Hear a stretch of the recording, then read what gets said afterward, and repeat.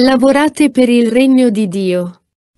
30 luglio 1972 Figli miei diletti, eccovi qui festosi attorno alla vostra mamma celeste e attorno alla vostra mamma spirituale, che è ritornata fra voi per continuare la sua missione di bene. Voi mi siete cari, come lo siete a lei che per voi lavora. Continuate perciò a darle consolazione amandovi reciprocamente, come date consolazione a me indirizzandomi le vostre preghiere. Vedrete che insieme realizzeremo grandi cose. Soprattutto avverrà quell'auspicato regno di Dio che è il motivo della vostra esistenza qua giù. Avete sentito nel Vangelo accennare ripetutamente al regno di Dio.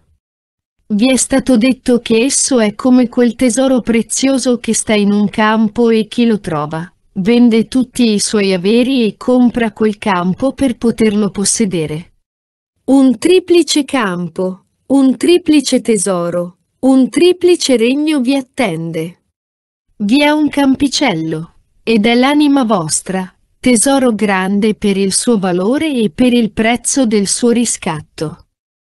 Per questo regno dovete lavorare soprattutto, pensando che nessuno può salvare la sua anima, se non lavora con convinzione e con volontà attorno ad essa.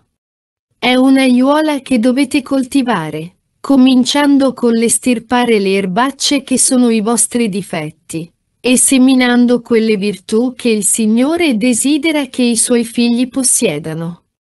Quante aiuole piene di serpi, figli miei! Non vi dovete lasciare intimorire dalle difficoltà, non dovete deporre le armi dicendovi incapaci, ma riprendendo continuamente il vostro lavoro Umiliandovi davanti a Dio per la vostra debolezza, dovete ogni giorno chiedere forza, coraggio e soprattutto ciò che Salomone chiedeva al Signore, di saper distinguere il bene dal male per essere in grado di ben governare voi stessi. Poi vi è un altro regno che è formato da tutti i fratelli. Anch'essi devono scoprire il tesoro, Devono capire l'immenso dono di Dio che è l'anima in grazia. Devono risanarsi e formare tutti uniti quel regno d'amore in cui il Signore siede veramente sovrano. Come non dovete dimenticare lo scopo principale della vostra vita, la vostra salvezza. Così dovete tener sempre presente che il regno di Dio si realizza nel mondo per mezzo della carità. Nell'esercizio costante della misericordia, virtù divina, si porta nel mondo Dio, la sua bontà, la sua luce. Se ognuno si prefiggesse questo duplice lavoro, credetemi, figli, io potrei spalancarvi il terzo regno e mostrarvi in esso, che chiamate comunemente la celeste Gerusalemme, il vostro seggio, ricco di gloria e di felicità senza fine. Tutti siete indirizzati a questa celeste dimora, dove siete attesi con ansia dalle schiere festose degli angeli e dei santi. Dalla Trinità Santissima siete attesi, da Gesù Re e Conquistatore del Regno e dalla vostra mamma, che vi ama tanto. Orsù dunque, figli, nulla vi sia gravoso nella vita.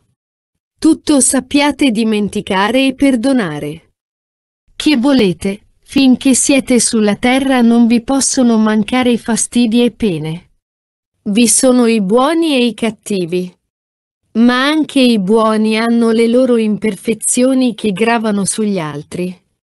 Non appesantite la vita che è già tanto dolorosa per tutti gli acciacchi e le pene che porta con sé. Sappiate sorvolare, Dimenticare e capire anche gli altri nelle loro esigenze dovute all'età, allo stato di salute e a molte altre cause, che qualche volta sembrano cattiverie e sono appena delle imperfezioni. Se guardate il cielo che vi attende, tutto vi sembrerà nulla e tutto ciò che passa vi sembrerà di nessun valore.